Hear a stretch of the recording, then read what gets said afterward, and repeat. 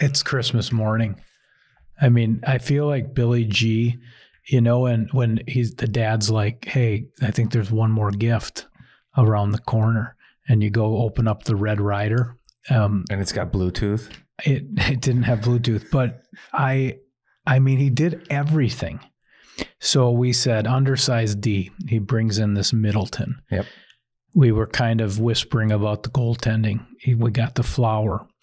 Um, are we tough enough? We need a rat bastard. He brings us Deslauriers. I don't know what Jost is. Maybe he's just uh, playing checkers with um, two similar players in different contracts. But um, besides the center thing, which you've convinced me doesn't matter, along with face-offs potentially, um, he he he bought everything on our list. I mean, he's the greatest dad ever.